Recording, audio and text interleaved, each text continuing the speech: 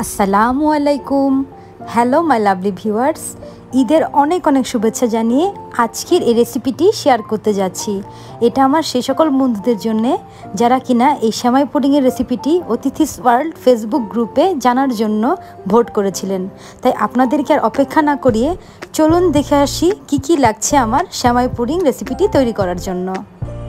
নিয়ে নিলাম আমি এক কাপ পরিমাণ সেমাই। আমি এখানে লম্বা সেমাইটা ইউজ করেছি, যেটাকে জর্দার সেমাই বা ভুনা সেমাই বলে, আর হাত দিয়ে একটু গুঁড়ো করে নিয়েছি।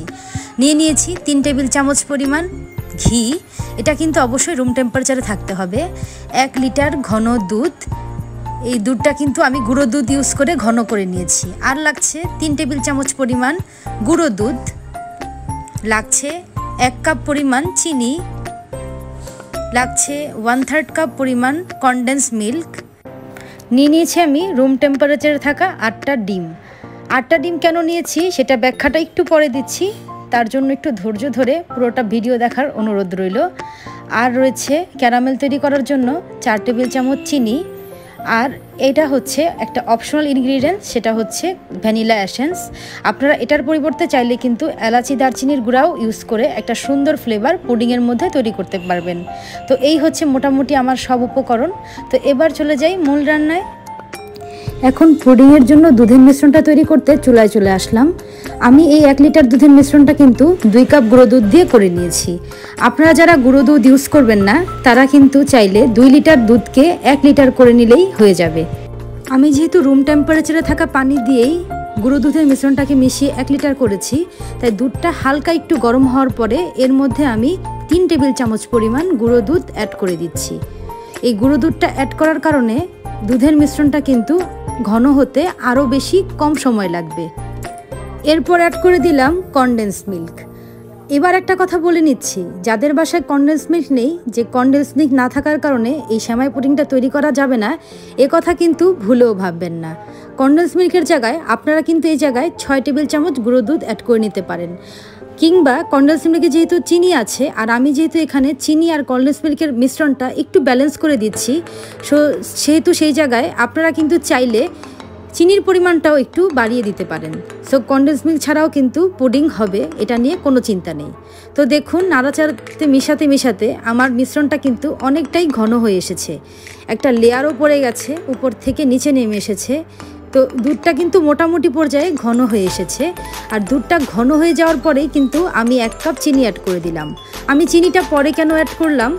এর কারণ হচ্ছে, চিনিটা যদি আমি আগে অ্যাড করতাম, তাহলে কিন্তু চিনি থেকে একটা পানি ছেড়ে দিত, যার কারণে দুধের মিশ্রণটা ঘন হতে সময় নিত। এখন যেহেতু দুধটা অলমোস্ট ঘন হয়ে এসেছে, যার কারণে চিনি দেওয়ার ফলে দুধের মিশ্রণে তেমন কোনো হেরফের হবে না।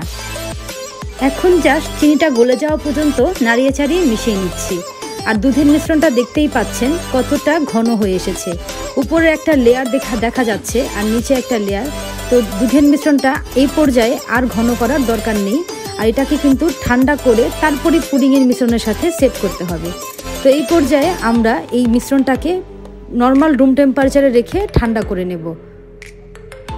আর এটা বুঝবেন কীভাবে ঘন হয়েছে? যখন দেখবেন দুধের মিশ্রণে এরকম বলক চলে আসবে বা বুদবুদের তৈরি হবে তখনই বুঝে নিতে হবে দুধটা এখন পুডিংয়ের জন্য পারফেক্ট। এখন চলে আসলাম আমাদের সেকেন্ড স্টেপে এই স্টেপে আমরা ক্যারামেল তৈরি করব। তার জন্য আমি বাড়তি কোনো ঝামেলা করছি না।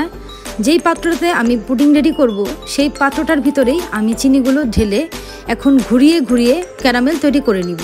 এটার জন্য আলাদা কোনো পানি অ্যাড করার দরকার নেই। লো আছে, চারিদিকে ঘুরিয়ে ঘুরিয়ে করলেই দেখবেন আস্তে আস্তে একটা ক্যারামেলের কালার তৈরি হয়ে যাচ্ছে। আলাদা কোনো বাটিতে করে আবার পুডিংয়ের সেই বাটিটাতে সেট করতে করতে এটাকে আমার কাছে একটা ডাবল ঝামেলা মনে হয়। তাই কম ঝামেলায় কীভাবে ক্যারামেলটা তৈরি করা যায় সেটাই আমি তৈরি করে দেখাচ্ছি। তো এইভাবে লো আছে ঘোরাতে ঘোরাতে দেখুন, ক্যারামেলের কালার কিন্তু চলে এসেছে। বুদবুদেরও তৈরি হয়ে গেছে। এখন এটাকে ঘুরিয়ে ঘুরিয়ে সব জায়গায় সেট করে নিলেই কিন্তু আমার পুডিংয়ের জন্য ক্যারামেলটাও রেডি এবার থার্ড স্টেপে চলে আসলাম।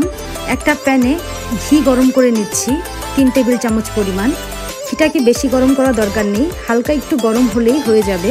এরপর আমি সেমাইটাকে দিয়ে দিচ্ছি। সেমাইটাকে খুব বেশি কড়কড়া করে ভাজতে হবে না, কিংবা খুব বাদামি করতে হবে, এরকমও কিছু না। লো আছে, জাস্ট দুই মিনিট একটু ভেজে নিলেই হয়ে যাবে। এটাকে করকরা ভেজে নিলে কিন্তু শ্যামাই পুডিংয়ের আসল টেস্টটা খুঁজে পাওয়া যাবে না। তখন শ্যামাই পুডিংয়ের টেস্টটাই নষ্ট হয়ে যাবে। তাই এটাকে মোটামুটি একটু সফট করে ভাজারই ট্রাই করবেন। তাহলেই হয়ে যাবে। এখন আমি ফোর্থ স্টেপে চলে এসেছি, আর এই পর্যায়ে আমি ডিমগুলোকে ভেঙে একটা মিক্সিং বলে তুলে নিচ্ছি। তো প্রথমেই বলেছিলাম যে অনেকগুলো ডিমের পুডিং তৈরি করছি, এটার একটা কারণ আছে। এর আগে আমি একটা এক ক্যারামেল পুডিং তৈরি করেছিলাম উইদাউট সেমাই, কিন্তু সেটা করেছিলাম চার ডিমের। তো সেটা ছিল ছোট পরিবারের জন্য, কিন্তু ঈদে তো বাসায় কোনো না কোনোভাবে গেস্ট চলেই আসে। আর যেহেতু এটা সেমাই পুডিং, তো টেস্টটা আরও অনেক গুণ বেশি। তো ঈদ প্লাস সেমাই পুডিং দুইটাকে কেন্দ্র করে প্লাস যারা বড় পরিবারের আছেন, তারা হয়তো বা ভাববেন, আপু খালি ছোট পরিবারের মানুষজনকেই খালি দেখায়।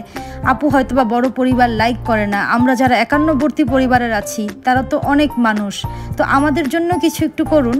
তো তার জন্যেই আমি কিন্তু অনেকগুলো ডিমের এবার পুডিং করে তৈরি করে নিচ্ছি। তো আপনারা যারা ছোট পরিবারের আছেন, তারা আবার মনোক্ষুণ্ণ হবেন না। তারা কিন্তু চাইলে চার ডিম দিয়ে করে নিতে পারবেন। তো অনেক কথা বলে ফেললাম, চাইলে এরকম একটা হুইস্কের সাহায্য ডিমটাকে মেশাতে পারেন, কিংবা এরকম একটা বিটার দিয়ে একবার বিট করে নিলেই হয়ে যাবে। তো আমি জাস্ট এটাকে একটা বিট করে নিব, ইলেকট্রিক বিটারে একটা প্রেস করলেই কিন্তু হয়ে যাবে। একদম লো স্পিডে একটা বিট দিব। বেশি বিট করার কোনো প্রয়োজন নেই। এটা আমরা কেক তৈরি করছি না, যে আমাদের ফোম করতে হবে। বেশি করলে কিন্তু এটা একটা নিচে ভিতরে দানা দানা একটা ভাবের তৈরি হবে। তখন কিন্তু পুডিংটা খেতে ভালো লাগবে না। ডিমটা আমার বিট করা শেষ। এখন আমি এটাকে দুধের সাথে মিশিয়ে নেব। আর দুধটা কিন্তু অবশ্যই রুম টেম্পারেচারে রেখে ঠান্ডা করে নিতে হবে। আদারওয়াইজ কিন্তু দুধের সাথে ডিম মেশানো যাবে না। এবার আমি রুম টেম্পারেচারে রাখা ঠান্ডা দুধের ভিতরে ডিমের মিশ্রণটা ঢেলে দিয়ে একটু নাড়িয়ে চাড়িয়ে মিশিয়ে দিচ্ছি। তারপর দিয়ে দিলাম ওয়ান ফোর চা চামচ ভ্যানিলা অ্যাসেন্স এটা দেওয়ার পরেও আমি ভালো মতো নাড়িয়ে চাড়িয়ে মিশিয়ে নিচ্ছি। এবার দিয়ে দিচ্ছি সেই ভেজে রাখা সেমাইগুলো। তো সেমাইগুলো দেওয়ার পরেও কিন্তু ভালো মতো নাড়িয়ে চাড়িয়ে মিশিয়ে দিতে হবে। এই নাড়িয়ে চাড়িয়ে মিশিয়ে দিয়ে সবগুলো মিশ্রণ আমার সেই ক্যারামেল সেট করা পুডিংয়ের বাড়িটার উপরে ঢেলে দিতে হবে। তো ক্যারামেলটা কিন্তু ঠান্ডা হয়ে পুরো সেট হয়ে গেছে। আর এখন আমি ঢেলে নিচ্ছি।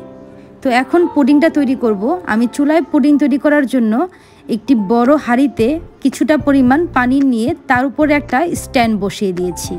এবার স্ট্যান্ডের উপরে পুডিংয়ের বাটিটা রেখে একটা ভারী কিছু দিয়ে ঢেকে দিব। ঢাকনা দিয়ে ঢেকে এভাবে ভারী কিছু দিয়ে রেখে দুই ঘণ্টা পর আসলাম চেক করতে। টুথপিকটা একদম পরিষ্কার এসেছে, এর মানে কিন্তু আমার পুডিংটা হয়ে গেছে। এবার একটি বাটিতে সাইড দিয়ে একটু চাকু দিয়ে বর্ডারটা কেটে পুডিংটাকে সার্ভ করে নিচ্ছি। আর পছন্দ মতো আমার বাদাম কুচি, যেরকম আমি পেস্তা বাদাম আর কাজু বাদাম পছন্দ করি, এটা দিয়ে একটু ডেকোরেশন করে নিলাম। তো খুব চটজলদি কিন্তু হয়ে গেল ভিন্নধর্মী একটি শ্যামাই পুডিংয়ের রেসিপি। শ্যামাইও খাওয়া হলো, পুডিংও খাওয়া হলো। আমি আপনাদেরকে একটু কেটে দেখাচ্ছি, দেখুন কতটা সফট হয়েছে পুডিংটা। নিচে দিয়ে সফট আর উপর দিয়ে ক্রিস্পি। তো আশা করছি আমার এই ইজি রেসিপিটি আপনাদের অনেক অনেক ভালো লেগেছে। ভালো লাগলে অবশ্যই লাইক কমেন্ট সাবস্ক্রাইব করে আমার চ্যানেলের পাশে থাকবেন।